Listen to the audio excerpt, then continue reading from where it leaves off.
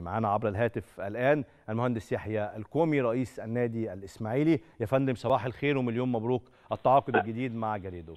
أهلا يا فندم وألف الله يبارك فيك ومشي جدا شكرا. جريدو من المدربين اللي ليهم سمعة جيدة في المنطقة العربية وبالتأكيد له سمعة جيدة في مصر بعد تدريبه النادي الأهلي والفوز بالكونفدرالية الأفريقية. إزاي تم التعاقد مع جريدو في الساعات الأخيرة؟ والله الحمد لله إحنا ربنا بس نامل من ربنا التوفيق. هو تم التعاقد على موسمين. وموسم آخر إن شاء الله. إحنا عايزين نعمل استقرار للنادي الاسماعيلي وهدفنا إن شاء الله إن إحنا نجيب بطولة بإذن الله تعالى. هايل. ونسعد شعب الإسماعيلية وجماهير مصر كلها اللي بتحب الإسماعيلي يعني. هايل. كانت قال الأيام اللي فاتت دي إنه كان اللي مأخر التعاقد فكرة إنه الإسماعيلي اشترط على جريدو إنه ما يخسرش ثلاث مباريات. الكلام ده مظبوط ولا الكلام ده ما كانش مظبوط يا والله؟ بص بص أنا يعني أنا أنا ليا ليا وجهة نظر هقولها لك بأمانة. يعني ماذا لو لو لا قدر الله المدرب ما وفقش؟ آه. ماذا نفعل؟ آه. هل يعقل يعني يبقى جايب نتائج سيئة وأنا برضه أخليه واديله شرط جزاء عشان أمشيه؟ ما هو ده مش منطق يعني. آه. بس- يعني أنت أنت لما بت... أنت لما بتكسب بيبقى في بونص. لما بتكسب بتبقى أديك مرتبك آه، كامل تماما. آه وفي بتكسب في أهداف وكل ماتش بتكسبه بتاخد 30 40 ألف جنيه.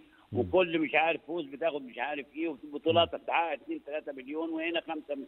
طيب أنت لما تعمل نتائج سيئة أعمل إيه؟ آه أقعد أعيط جنبك يعني؟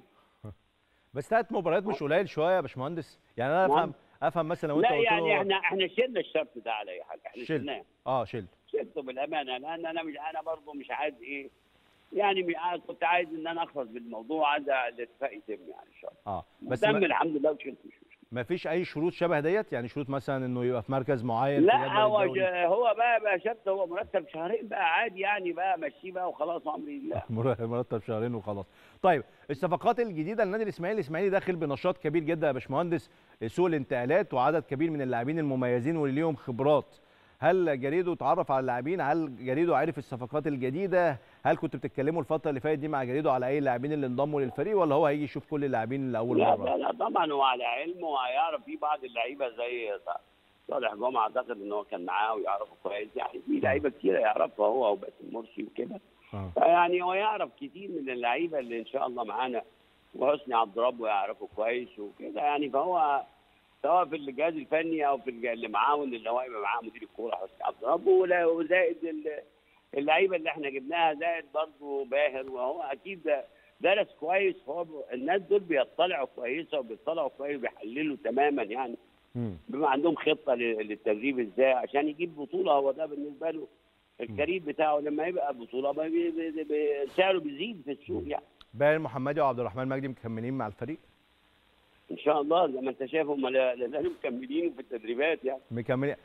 آه أنا أقصد إن هو ما فيش أي عروض أو ما فيش آه، احتمالات يعني بتيجي عروض لكن هي لسه مش لا ترقى للي إحنا نرغب فيه. بالأمانة عشان كده إحنا حاطين شروط لباهر و-. وعبد الرحمن.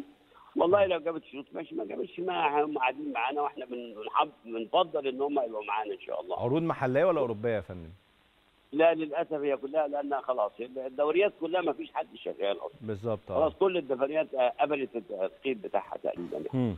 فهو بس ال- هيبقى عروض محليه يعني. عروض محلية. أهلي وزمالك طبعا. لا ولا أهلي ولا زمالك. ولا أهلي ولا زمالك؟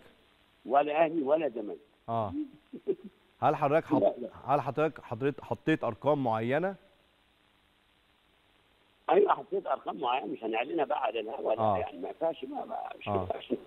آه. الصدقات يعني. عشان نعلي فيها شوية ماشي. لا لا لا. إحنا كل ده هدفنا إحنا اولا نبسط جماهير النادي الإسماعيلي. نعمل كل ده بنعمله عشان خاطر الجماهير تبقى سعيدة تبقى مبسوطة. آه. وأعتقد الإسماعيلية كلها كانت مبسوطة بالصفقات وإن شاء الله كمان بالمدرب. إن شاء الله. ونلعب من رب العالمين يوفقنا بقى ون ويعني حقق لنا البطولات اللي إحنا فيه اللي إحنا عندنا نفسنا ناخد بطوله مرات أخرى إن شاء الله في باقي مستحقات. اللاعبين المتأخرة يا فندم تم تسديدها ولا لسه في بعض الأمور المعلقة؟ معظمها إن شاء الله تبقى تسدد يعني. واحد واحد ما تقلقش يعني. كل ال... إحنا الحمد لله ماشيين بخطة كويسة. إحنا بس إن ربنا يوفقنا إن إحنا نجيب رعاة كويسة بالنسبة للفترة اللي جاية. عشان يبدأ يص- يصرف على النادي الاسماعيلي ومنهم شركة برزنتيشن اللي هي الشركة الراعيه بتاعه البث الفضائي. امم وإن شاء الله نوصل معاه لاتفاق وربنا يسهل إن شاء الله. عندك طموح إن الإسماعيلي يبقى في المربع الذهبي الموسم القادم؟ أنا عندي طموح إن شاء الله. إن الاسماعيلي يبقى بطل الدوري الم- الموسم القادم. ده كلام لا أيوه يفرح أنت بتضحك ده طبعا مش لا مشكلة. ده كلام ده بالعكس ده بيضحكني. لا ده أنا مبسوط إن جماهير الاسماعيلي أنا مبسوط إن جماهير. الإسماعيلي تسمع حاجة زي كده يا باشمهندس. لا إن شاء الله بإذن الله ده هدفنا. ما إحنا مم. إحنا ما بهدف بجد يعني. إحنا بنسعى لذلك. إحنا عايزين ناخد بطولة الدوري أو بطولة الكاس إن شاء الله. هايل هايل يا باشمهندس هايل. أنا بشكرك شكرا جزيلا يا باشمهندس يحيى الكومي رئيس النادي الإسماعيلي. طموحات مشروعة طموحات منطقية. ده النادي الإسماعيلي ده النادي الإسماعيلي التاريخي. يعني أنا لما أقول له تبقى عايز تبقى في المربع الذهبي يقول لي أنا عايز آخد الدوري ده كلام هو اللي تفهمه جماهير الإسماعيلي. لما تيجي تسأل جمهور الإسماعيلي أنت طموحك إيه في الدوري؟ يقول لك هناخد دوري. طموحك إيه في الكاس؟ هناخد كاس. أنا لما ابتسمت فابتسمت إنه حال الإسماعيلي السنوات الماضية كلها ما كانش على مستوى الطموح ده بصراحة. بس احقاقا للحق. مدير فني وصفقات بتقول إن الإسماعيلي داخل الموسم القادم بشكل مختلف.